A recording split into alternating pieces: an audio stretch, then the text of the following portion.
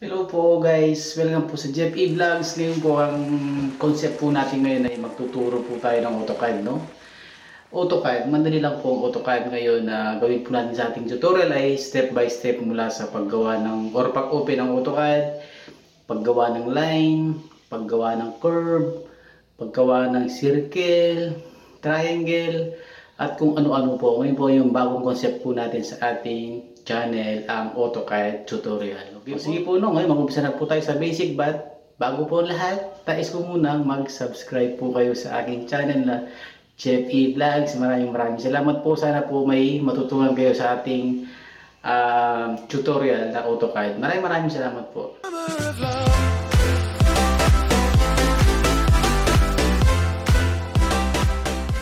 Hello po, welcome po sa Jet Key Vlogs. Ngayon po ay mag-uumpisa na po tayo magturo ng AutoCAD, no?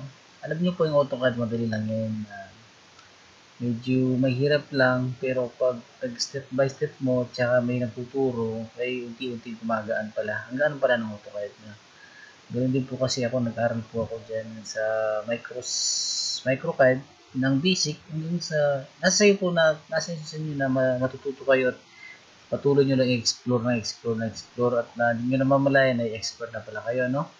Ngayon po umpisa na po natin no? Yung first thing po natin gawin sa mga beginners no? Yung po mga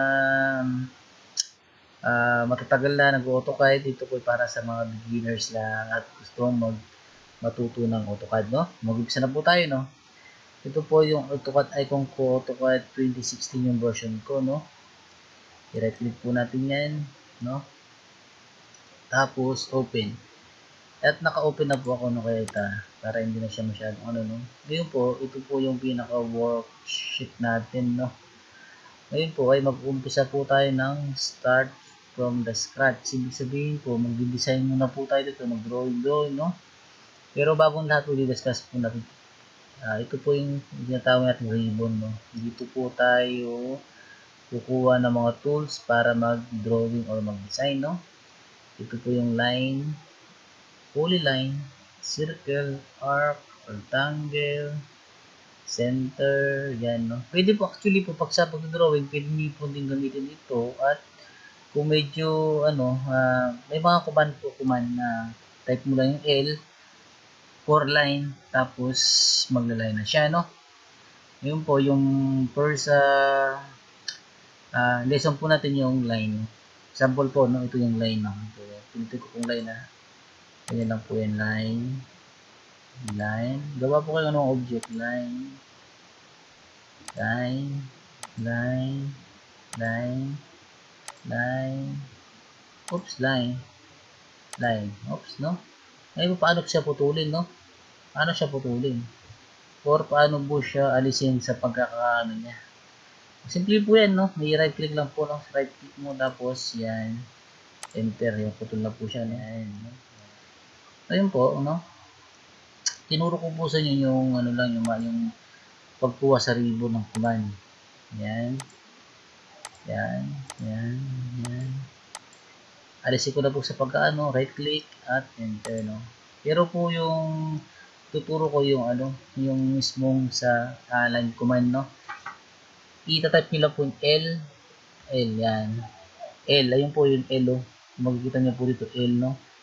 Stands for line, no? Tapos, i-enter nyo po, or backspace, or uh, spacebar, yun po yung, uh, yun po yung pag-execute ng command, no? Enter o backspace, yan. Enter o spacebar po, spacebar, na hindi po backspace, yan. Yan. Ganyan din po yan, no? Yan, ganyan po din siya na hindi mo po ginagamit na hindi mo po ginagamit tong L command no bali na gano po tayo ng uh, command po ng pagpindot natin ng L. Lilitaw sa ribbon po natin na line no? Dahil po isasara na po natin to no? Again no? Pwede po natin i-enter o, o spacebar at ma ma-execute na po yung ginawa po natin no? Sa Itry po natin no, i-space bar ko, enter ko ah. Yan, wala po no. Instead na i-right click mo, at ito mong enter, i-space bar mo lang po no. Yan. Siguro po ito muna yung bagong, yung unang lesson po natin yung paggawa ng linya, no.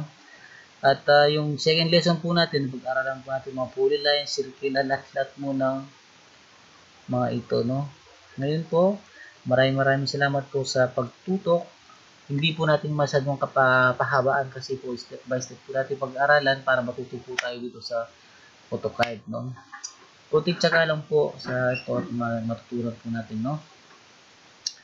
So, paano po lahat ng hindi pa nakasubscribe, subscribe na po sa aking channel na E. Vlog.